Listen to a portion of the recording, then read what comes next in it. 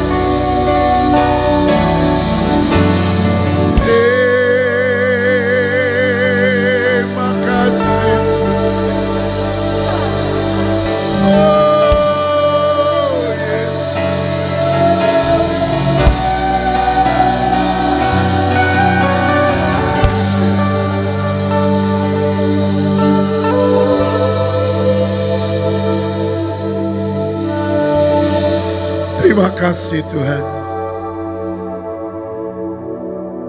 Ya kami lebih dan lebih kenal akan Engkau.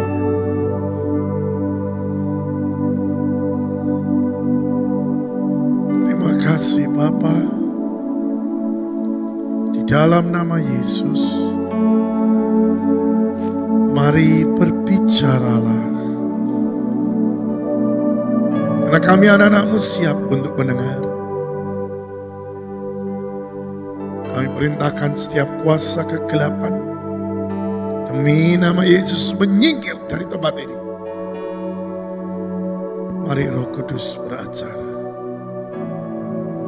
dalam nama Tuhan Yesus. Kami berdoa. Amin.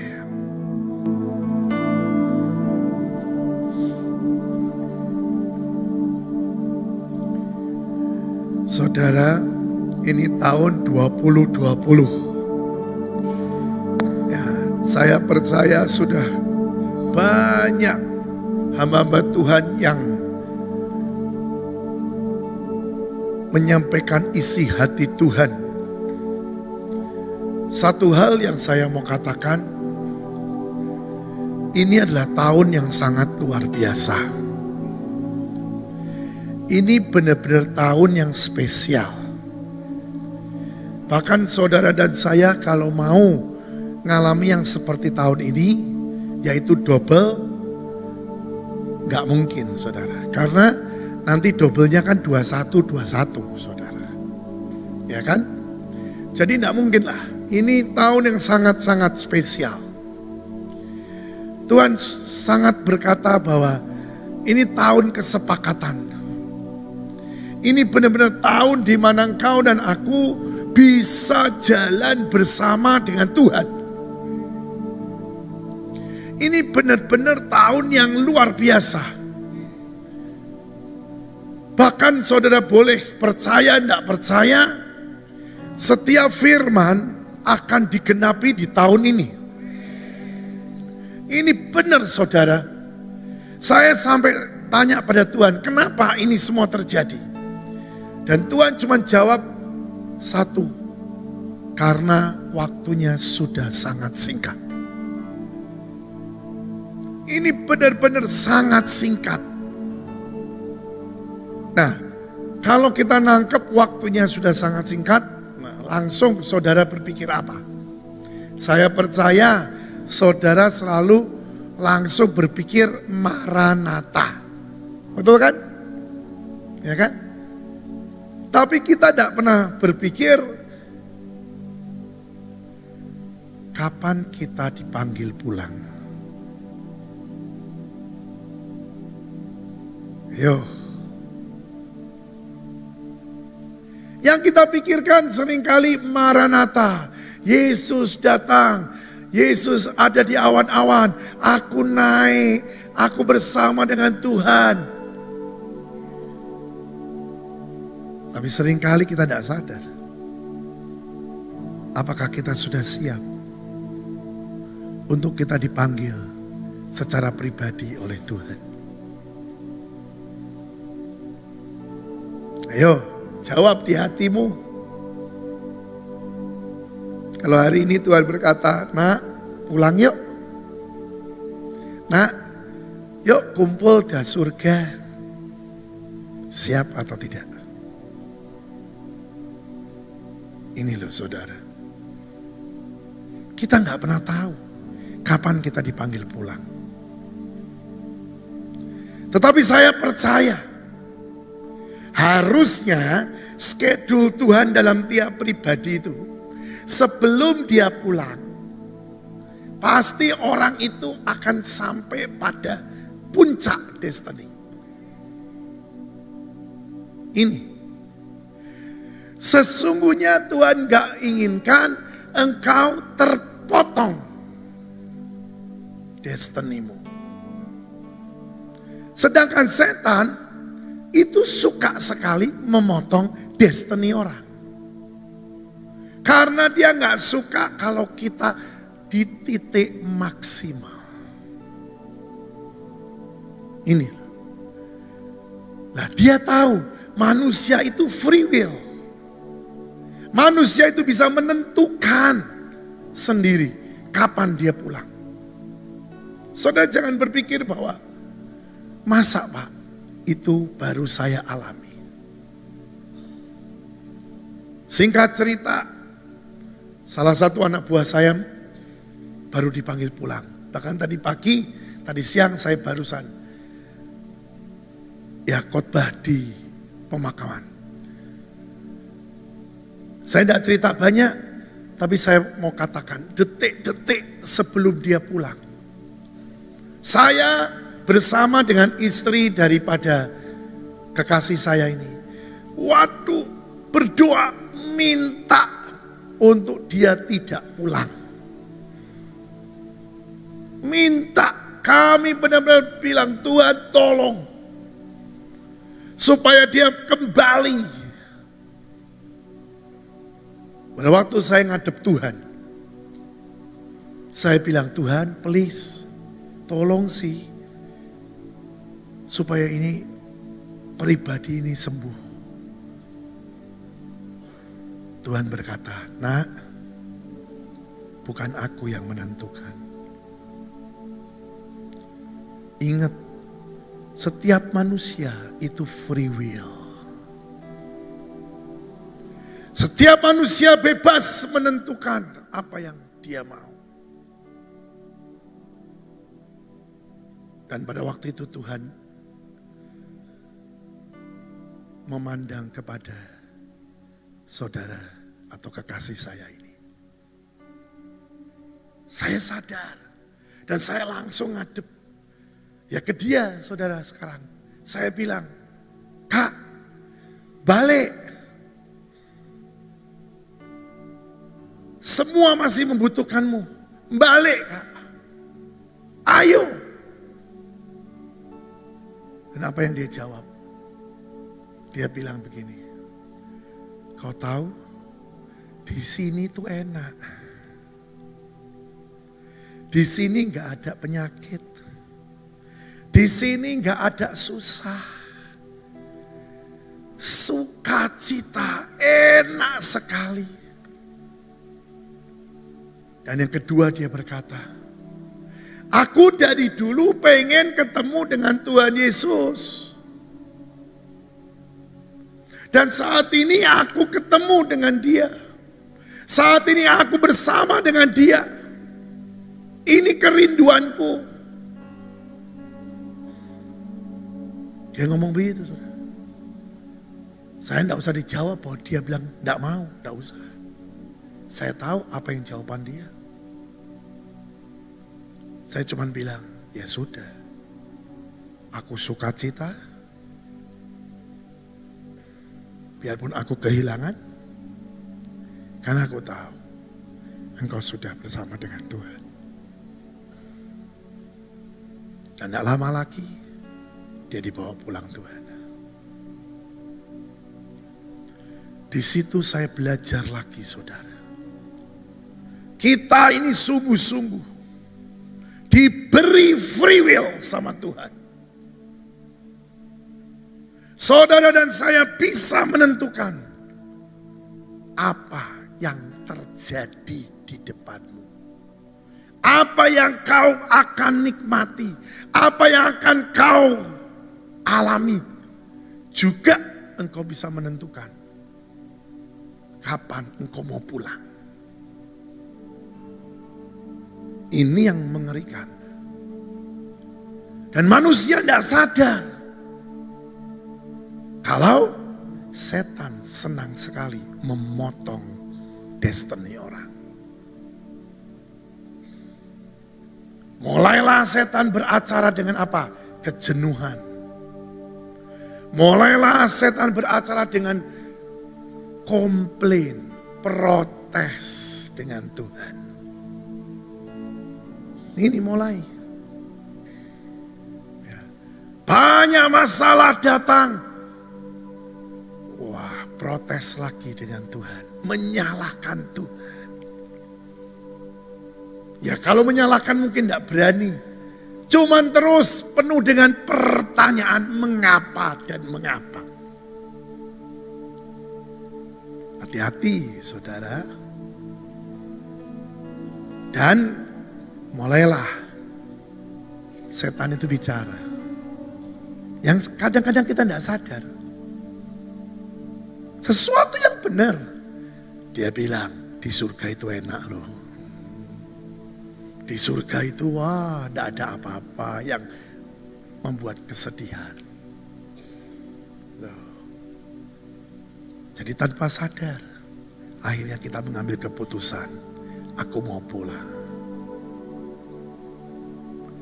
Saya mau kasih tahu.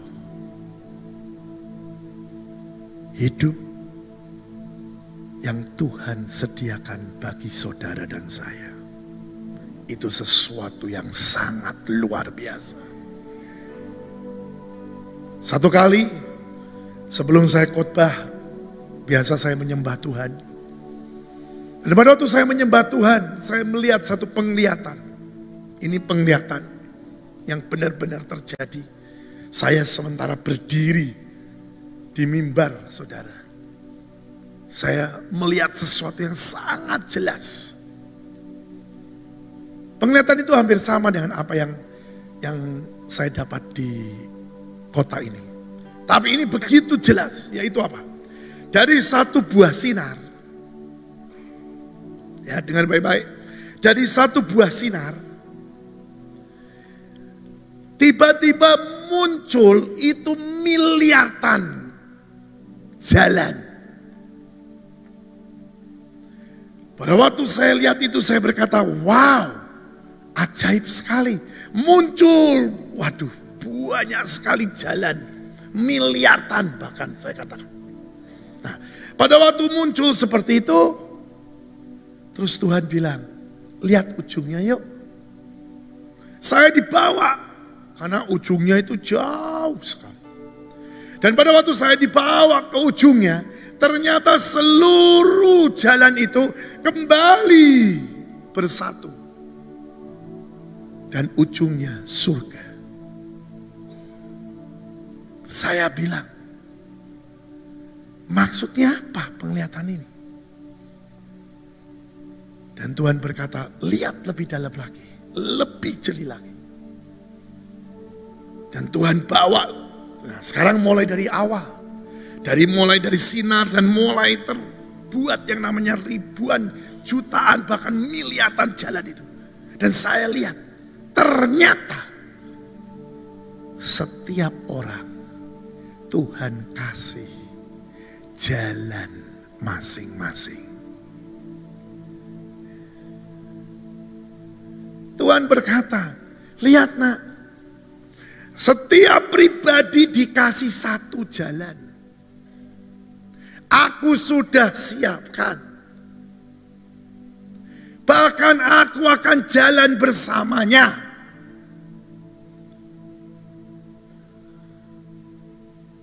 Karena firmanku juga berkata, tidak ada seorang pun yang diinginkan untuk binasa. Kalau mereka jalan di jalan yang aku sudah tetapkan. Aku sudah siapkan. Tidak usah macam-macam. Ikuti saja step by step. Jalan bersama dengan aku. Ujungnya surga.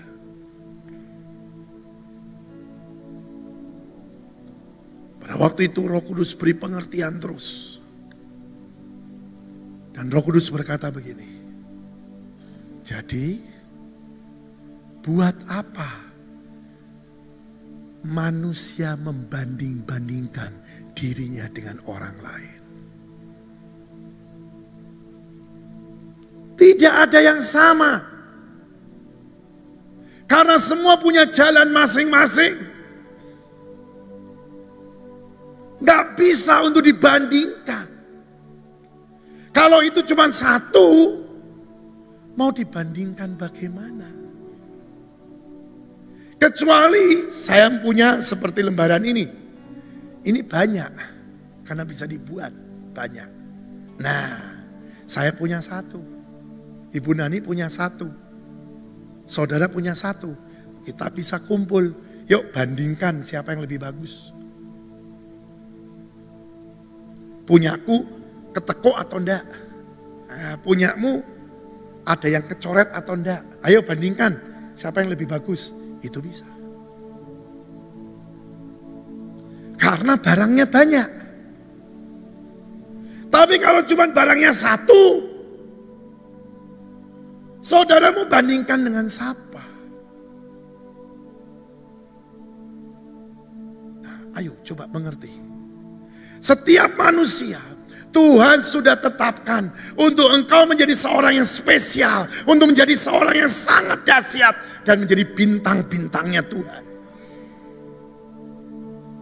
Kalau kau ngerti ini, Tuhan bilang, "Nak, sudah tidak ada lagi perasaan iri." Kenapa dia diberkati? Aku kok tidak? Lah ya memang beda, jalannya beda. Bahkan suami istri pun sendiri, saudara. Saya mau katakan. Pak Yusak selalu berkata, enggak gandeng-gandengan ya ke surga. Saya baru ngerti kata-kata itu. Memang suami istri dua jadi satu. Tapi untuk ke surga sendiri-sendiri. Karena Tuhan sudah tetapkan, sudah sediakan jalannya. Ini loh saudara. Nah, saudara ngerti enggak saat ini? Sejak saya ngerti perkara ini. Saya enggak memusingkan. Saya enggak mau iri. Saya enggak mau banding-bandingkan diri saya. Saya mau fokus pada Tuhan. Dan saya mau selesaikan destiny saya bersama dengan Tuhan. Mau orang lain ngomongin, mau orang lain menghakimi, aku nggak pusing. Karena aku tahu aku punya jalan yang Tuhan sudah sediakan. Ini loh saudara. Nah tahun ini kenapa kok barusan dibongkar secara utuh? Karena Tuhan bilang, ini tahun aku mau jalan bersama dengan anak-anakku. Di jalan yang Tuhan sudah siapkan, kalau engkau jalan baik Tuhan, maka engkau akan nikmati yang namanya firman berkata, dari kemuliaan menuju pada kemuliaan, menuju pada kemuliaan. Karena kita jalan baik Tuhan. Ini loh saudara, sesuatu pelajaran mungkin ini saudara sudah banyak kali dengar. Saudara sudah ngerti bahkan. Tapi pertanyaan yang hari ini Tuhan tanyakan. Sudahkah kita semua tiap pribadi ada di jalanmu masing-masing?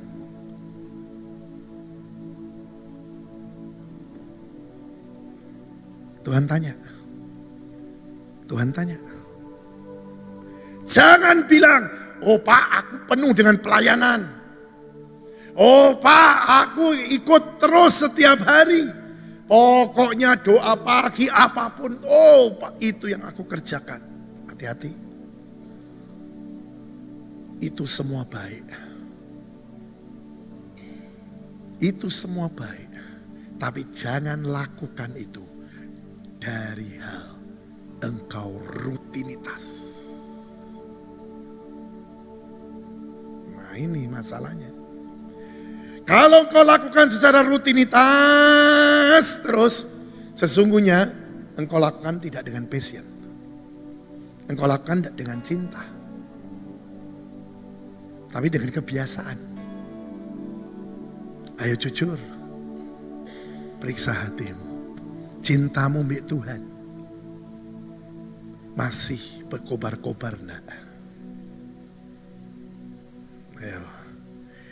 Ini ya, kan anak yang pelayanan. Ayo jujur. Kita koreksi hati kita lah. Kalau mau hari Selasa, hmm, apa yang ada di hatimu? Semangat. Karena apa? Aku senang pelayanan. Karena aku ketemu Tuhan. Aku senang pelayanan. Kenapa? Karena aku mau dekat dengan Tuhan. Ketemulah dengan Tuhan. Ngobrol dengan Tuhan. Atau biasa-biasa saja. Atau bahkan mungkin berkata, aduh sudah selasa lagi. Nah, ayo saudara. Coba kita koreksi. Seringkali sejujurnya kita sudah bangga dengan apa yang menjadi kedudukan kita. Apa yang kita sudah dapat. Hati-hati lo ya, kenyamanan itu akan membuat saudara keluar daripada jalur Tuhan. Bahkan ada firman Tuhan yang mengerikan. Yang membuat kita harus waspada. Saudara pernah baca kan? Di dalam firman itu dikatakan, Aku bernubuat demi nama Yesus. Aku mengusir setan demi nama Yesus. Bahkan banyak mengadakan mujizat demi nama Yesus. Tapi dikatakan di dalam firman itu, Yesus berterus terang. Yesus berkata, aku tidak mengenal kamu. Saya berdoa supaya saudara tidak mengalami yang seperti itu.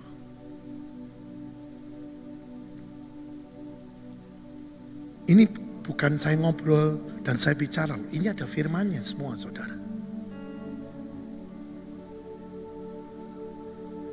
Mungkin sudah bertanya, kok bisa pak? Loh buktinya kalau Tuhan tidak menyertai, kenapa dia bisa buat mujizat? Kalau Tuhan tidak menyertai, kenapa dia bisa ngusir setan? Ya bisa. Sebenarnya setan itu takut kok di kita kok. Sebenarnya secara alam roh yang terjadi karena di dalam kita ada Yesus Kristus, di dalam kita ada Tuhan. Kita jalan ke mana pun, setan lihat dari jauh juga sudah pergi.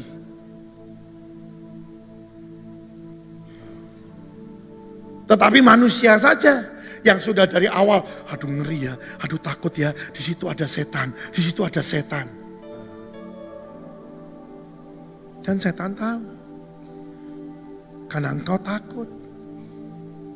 Tapi kalau engkau tidak takut dan kau tahu ada yang sesuatu lebih besar dari yang di dunia ini. Aku punya Yesus. Ke mana pun kau pergi, tidak usah takut. Dengar baik-baik ya. Jangan bilang bahwa setan hanya ada di kuburan. Di gereja paling banyak setan. Saya mau kasih tahu.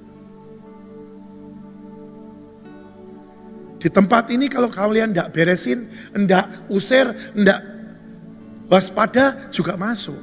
Karena setan itu spirit. Saudara itu jangan dibodohi. Nih ya saya mau kasih tahu. Kalau saudara ngomong, di situ ada setan, di situ ada setan, dan ribuan orang ngomong ada setan, muncullah si setan itu di situ.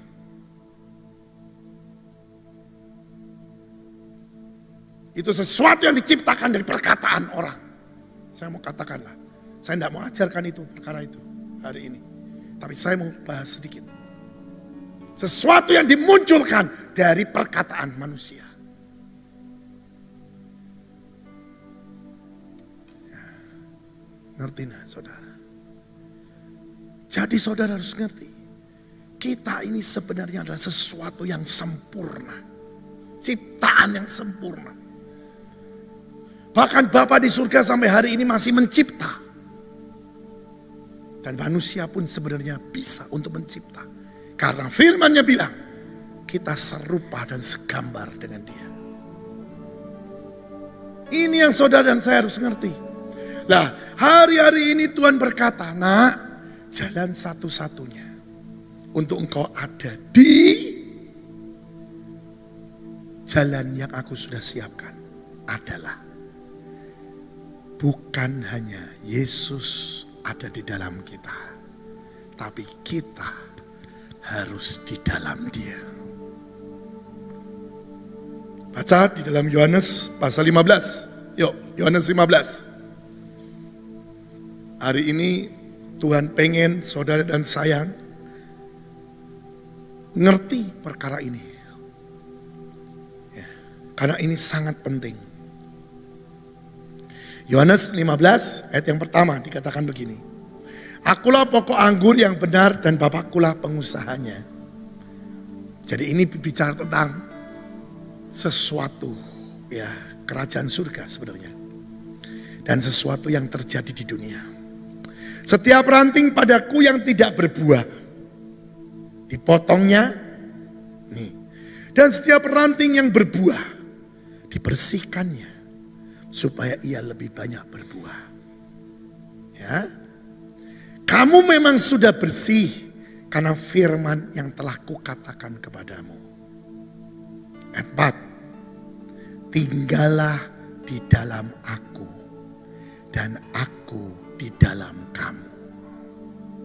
Sama seperti ranting tidak dapat berbuah dari dirinya sendiri, kalau ia tidak tinggal pada pokok anggur, demikian juga kamu tidak berbuah, jikalau kamu tidak tinggal di dalam aku. Saya akan bagikan, saya akan bacakan satu kali lagi ayat ini. Saudara, saudara kita semua ngerti, ya? Ayo, ayo coba baca dan dimengerti. Tinggallah di dalam aku dan aku di dalam kamu. Sama seperti ranting tidak dapat berbuah dari dirinya sendiri. Kalau ia tidak tinggal pada pokok anggur. Demikian juga kamu tidak berbuah. Jikalau kamu tidak tinggal di dalam aku. Mulai terbuka. Hari ini coba renungkan kehidupan saudara dan saya juga merenungkan kehidupan saya. Kenapa kita tidak berbuah? Apa arti berbuah?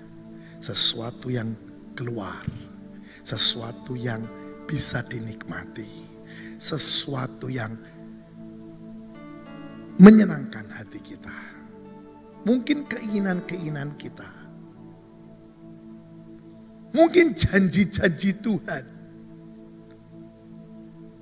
Kok tidak atau belum tergenapi ya? Ini jawabannya. Karena saudara dan saya sering kali didapati tidak di dalam Tuhan. Nah ini loh saudara. Tapi kalau saya ngomong dengan secara belak-belakan, saudara tidak di dalam Tuhan. Waduh, pasti berontak, pasti komplain, pasti berkata, uh seenaknya aja ngomong. Padahal saudara, sering kali kita tidak sadar loh, kita keluar daripada jalur itu. Nih ya, saya berdoa supaya saudara ngerti. Kalau seseorang berkata Tuhan Yesus, tinggallah di dalam aku. Saya percaya Yesus masuk. Dan Yesus bukan pribadi yang gini, masuk, toto keluar. Masuk lagi, keluar lagi. Enggak. Sekali kita panggil dia, dia akan tetap ada dalam hati kita. Amin. Ya, ngerti ya? ya. Oke? Sekarang ini sampai tingkat ini ngerti ya? Bukti membuktikan. Orang yang seperti ini masih bisa berbuat dosa. Betul? Orang seperti ini masih bisa bunuh orang. Hmm? Orang seperti ini masih bisa merampok orang. Orang seperti ini masih bisa berzina. Mulai terbuka. Gunanya Tuhan berkata, tinggal di dalam aku. Ini yang Tuhan buka. Sedangkan kalau kita tinggal di dalam Tuhan, nih seperti ini. Air ini tinggal di dalam gelas plastik. Betul? Benar? Kalau gelas plastiknya ini hitam, airnya kelihatan enggak? Enggak kan? Yang kelihatan apa? Ya gelas plastiknya, betul? Kehidupan manusia yang no ngata katanya anaknya Yesus. Yang kelihatan siapa? Berani ngomong. Yesus. Hmm? Ayo. Berani ngomong? Yang dimunculkan, yang semua lihat adalah Yesus. Berani? Kenapa? Karena banyak yang hanya Yesus ada di dalamnya. Bisa nangkep? Kalau Yesus ada di dalamnya, ya masih bisa berbuat dosa. Tapi kalau saudara dan saya ada di dalam Yesus, sebenarnya nggak bisa berbuat dosa. Bahkan kalau istilahnya ya, terus terang, ini tak pukul, yang di dalamnya tidak ngerasa sakit kok.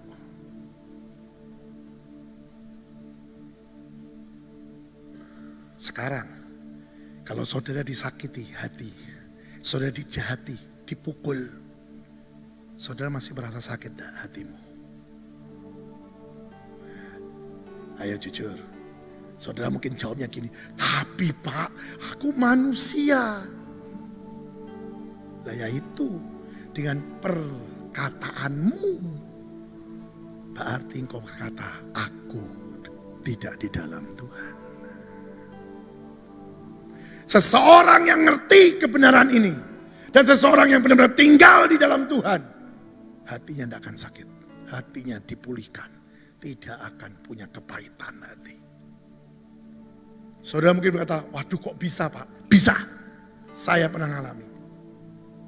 Pada waktu itu saya saksikan ini benar-benar terjadi. Saya masuk pengasingan tujuh hari. Ketemu Tuhan, ngobrol dengan Tuhan. Dapatkan satu penglihatan, pokoknya dahsyat saudara. Tujuh hari pengasingan. Pada waktu keluar, berubah semuanya. Jujur, teman-teman saya ngomong, kamu ya diomongin orang gini-gini, kamu difitnah, kamu di apa? Hati saya tidak sakit. Saya sampai berkata, oh kasihan ya orang itu ya. Dia nangkep salah tentang aku. Loh kok bisa gitu ya? Saya sendiri bingung. Saya sendiri berkata, loh kok bisa ya pikiranku kayak gitu ya? Itu yang di dalam Filipi 2 dikatakan, pikiran Kristus menjadi satu dengan kita karena kita ada di dalam Kristus. Saudara bilang berkata, nggak mungkin pak. Sekali lagi saya katakan, ucapan kita itu yang terjadi karena free will itu. Mulailah saat ini berucap yang positif. Mulailah saat ini engkau berkata yang positif, maka itu semua akan terjadi dalam hidupmu. Saya tidak ngerti kalau ini sudah dibahas dan dibuka sama Pak Yusa. Saya tidak ngerti pada waktu beliau khotbah tentang ini. Hari ini saya baru ngerti. Hari-hari ini saya baru ngerti. Bahwa benar-benar Selalu Pak Yusak berkata aku ini hamba. Aku ini gak ada apa-apanya. Aku gak ada gunanya tanpa Kristus. Ini maksudnya. Kita harus sadar, kita harus tinggal di dalam Tuhan. Karena kalau kita tinggal di dalam Tuhan, maka Tuhan mengcover kita secara utuh. Manusia boleh berbuat apa pun, kita tidak akan terkena. Tetap kita akan lurus dan fokus pada Tuhan. Nah orang-orang seperti inilah yang akan menyelesaikan destininya dengan kuat. Dan akan jadi bintang-bintangnya Tuhan. Jadi untuk jadi bintangnya Tuhan itu adalah keputusan dari tiap pribadi. Bukan Tuhan Kenapa saya berani katakan seperti ini juga? Karena Tuhan berkata, semua sudah tersedia nak. Engkau boleh melangkah dan ambil. Karena semua tersedia. Apa pun sebenarnya yang menjadi keinginan dan kesukaan manusia. Tuhan siapkan. Karena Tuhan tahu saudara adalah seorang yang spesial di hadapan Tuhan. Kalau saudara tidak spesial, buat apa Yesus turun ke dunia dan sampai meninggal di kayu salib? Hmm? Karena Tuhan senang kalau kita berbahagia. Karena Tuhan senang kalau kita tuh suka cita. Karena Tuhan suka kalau saudara dan saya menikmati ciptaan tetapi di dalam kekudusan. Ada orang tanya pada saya, Pak, nanti kalau saya dekat sama Tuhan, saya benar-benar cinta Tuhan, berarti saya sudah tidak boleh lagi nonton bioskop. Buat apa tanya seperti itu? Itu berarti kau nggak ngerti. Perkara nonton boleh atau tidak, itu tidak akan membuat itu menjadi, aduh, tidak boleh ya. Kenapa? Karena kalau kita tinggal di dalam Tuhan, dan itu kalau engkau benar-benar tinggal di dalam Tuhan, dengan sendirinya, nanti apa yang kau pikirkan, apa yang kau sukai, itu adalah kesukaan Tuhan. Kita bisa seirama dengan Tuhan dengan sendirinya. Benar saudara, ini saya alami. Saya enggak khotbah, cuman khotbah karena ini teori. Enggak, ini yang aku alami. Saya senang sesuatu. Contoh, saya ini anak Harley. Sampai hari ini saya punya Harley, saudara. Dan saya senang akan Harley Davidson itu. Saya kalau naik itu, waduh, istilahnya dunia milik saya sendiri lah istilahnya. Ya, karena ya memang senang gitu loh saudara. Tapi pada waktu saya dekat dengan Tuhan, saya dekat dengan Tuhan, saya dekat dengan Tuhan. Saya tidak perlu tengang-tengking hidup saya. Tapi saya bisa berkata, betul saya suka Harley. Tapi itu bukan yang utama. Yang utama adalah Tuhan. Istilahnya Tuhan bilang, nah Harlimu kasihin orang itu. Tak kasih saudara. Dulu yang gak bisa. Itu kesenangan saya. Sekarang bisa. Tuhan bilang kasih kena. Gak kasih Misalnya Tuhan minta itu. Tidak ada keterikatan. Jadi makin engkau sadar dan makin engkau ada di dalam Tuhan. maka engkau akan hampir serupa dengan dia. Tapi ingat, kita tidak akan sama dengan dia. Kenapa? Karena dia Tuhan, kita bukan Tuhan, saudara. Tapi kita menuju seirama, sepikir eh, dengan Tuhan kita.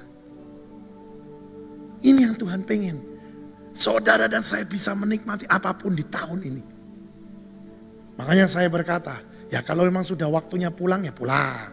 Ya, tapi kalau belum waktunya pulang jangan mau dipotong sama setan. Ya, karena tahun ini tahun yang luar biasa. Tahun ini akan tahun yang menjadikan apa yang menjadi impianmu akan terjadi.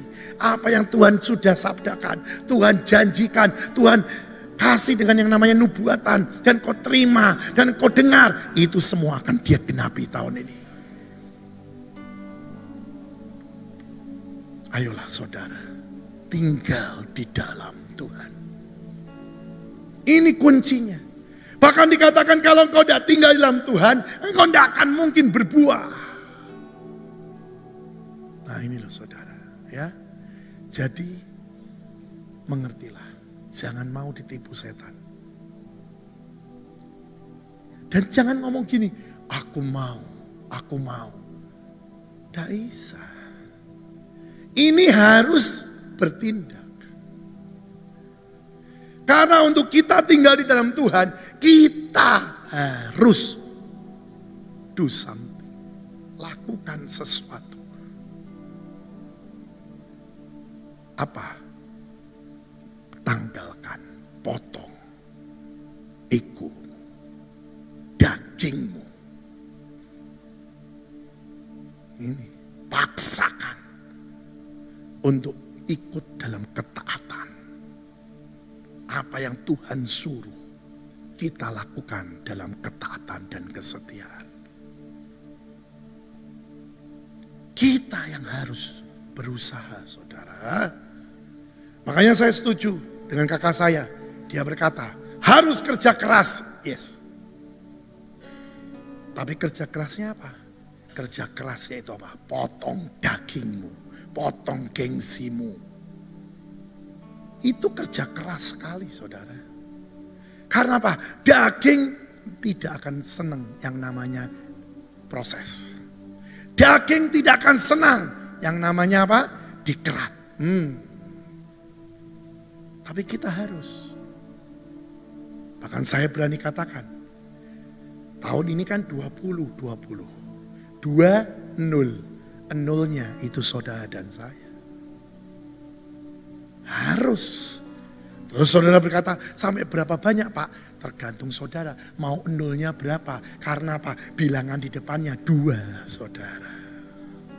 Tangkap. Kalau nolnya enam jadi berapa? Dua juta. Kalau nolnya sembilan jadi dua M. Betul enggak? Nah, sudah selanjutnya dilanjutkan saja. Tapi kalau saudara puas dengan nolnya satu, ya cuma 20. Nah, itu loh saudara. Ayo, hari ini biarlah saudara dan saya mengerti dengan sungguh. Bukan hanya Yesus ada di dalam kita. Tapi kita harus ada di dalam Yesus. Benar-benar. Kalau kau ngerti perkara ini, hidupmu akan berubah 100%. Enak saudara, enak. Karena apa? Semua tersedia.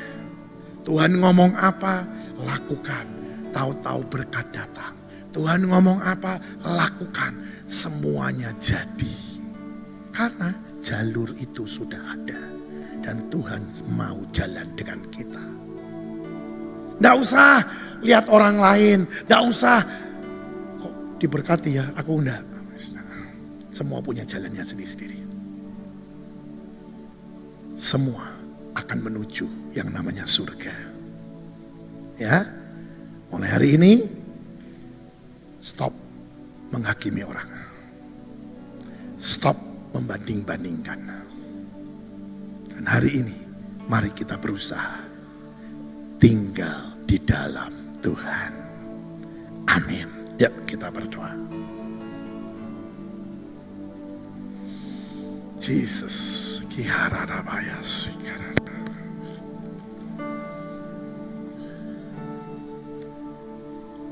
Bapa, hamba sudah sampaikan isi hatimu. Mari Tuhan. Mari Roh Kudus.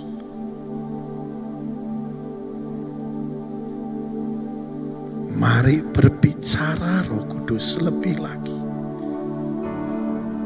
Berikan supaya kami ngerti dengan benar. Kemenangan sudah kau sediakan bagi kami. Terima kasih Tuhan.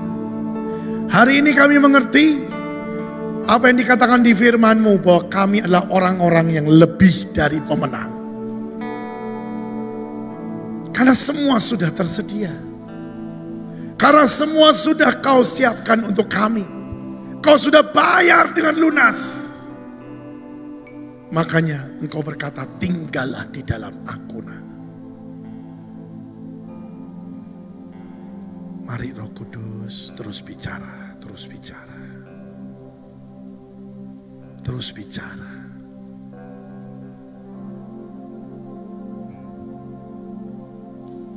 Hari ini Tuhan pengen untuk kita mengerti. Rancangan Tuhan itu damai sejahtera. Rancangan Tuhan itu sukacita. Tidak ada rancangan sakit penyakit. Tidak ada rancangan kegagalan. Tidak ada rancangan kehancuran. Pokoknya yang jelek-jelek itu Tuhan tidak pernah merencanakan. Tapi dia selalu merencanakan sesuatu yang baik. Jangan mau ditipu setan. Hari ini engkau harus bebas dari setiap belenggu. Tuhan sudah bayar lunas. Dan kita anak-anaknya jangan mau untuk memasukkan diri pada seseorang yang terikat lagi. Firman Tuhan berkata setiap kutuk sudah terlepas dan sudah dihancurkan.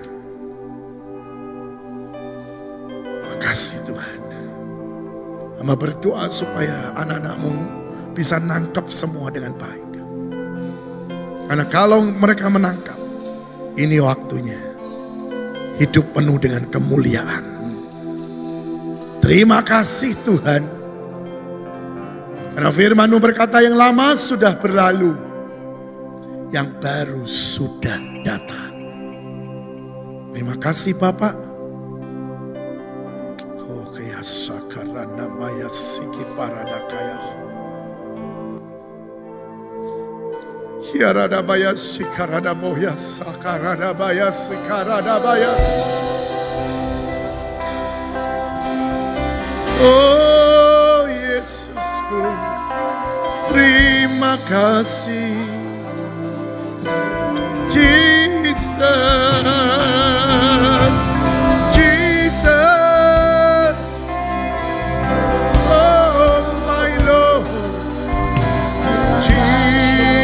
Jesus.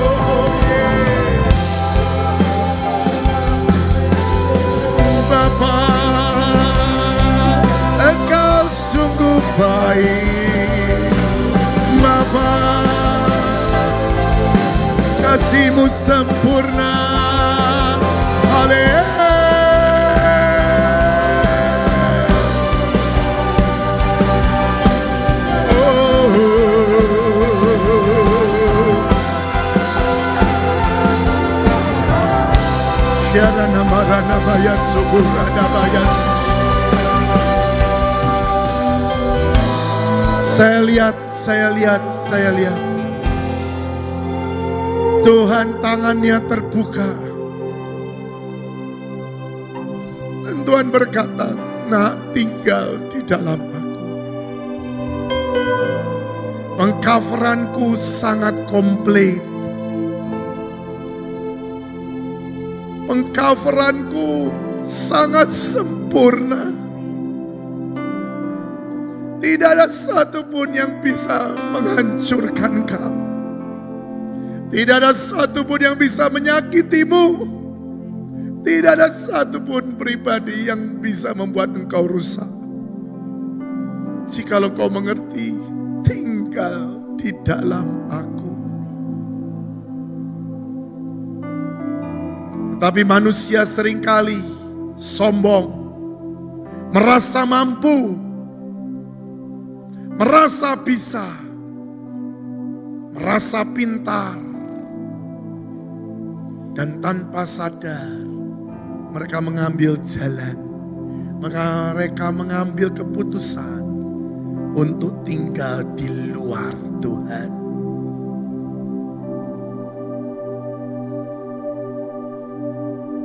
Itu yang selalu Pak Yusa berkata, Aku hamba yang tidak berguna. Aku tidak bisa berbuat apa pun di luar Tuhan.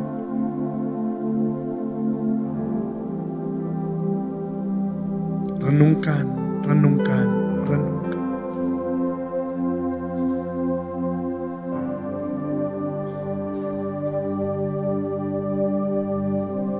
Biar Tuhan sendiri yang mengcover kita.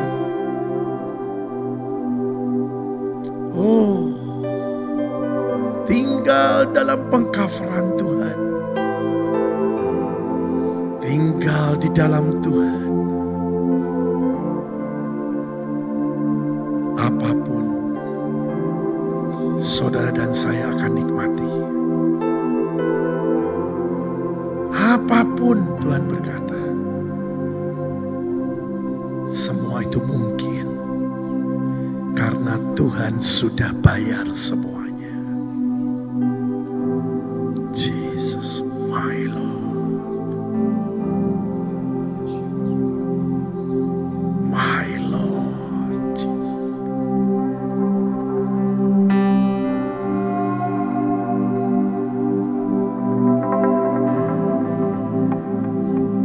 Yang diperlukan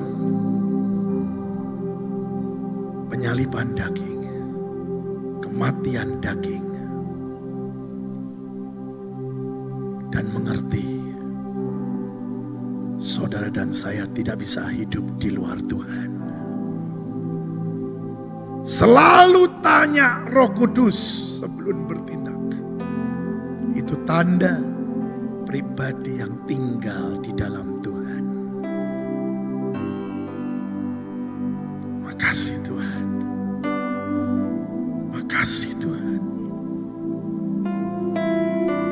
Kami percaya setiap masalah, setiap problem anak-anakmu di dalam nama Tuhan Yesus kami percaya mulai hari ini semua dibebaskan, semua menang dan keluar sebagai pemenang.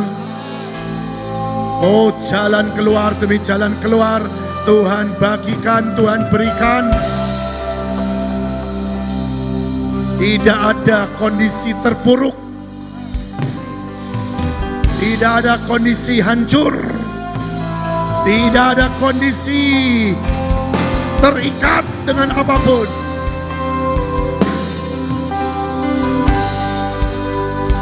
Karena kami tahu Yesus sudah bayar semuanya. Oh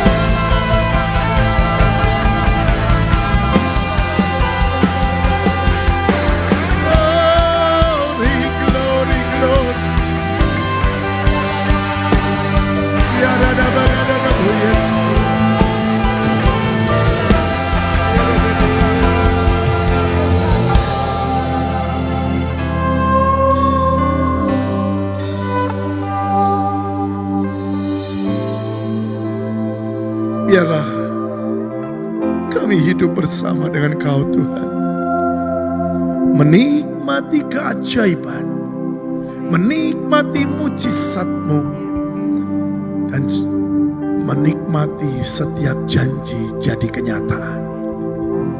Terima kasih Bapak. Semua hormat puji kemuliaan kami kembalikan padamu Tuhan. Engkau segalanya bagi kami. Hamba berdoa, Roh Kudus terus bicara. Lebih dalam, lebih dalam. Dan biar anak-anakmu mengerti dan jadi pelaku firman. Mengalami hidup bersama dengan Tuhan. Di dalam nama Yesus, hamba berdoa. Amin.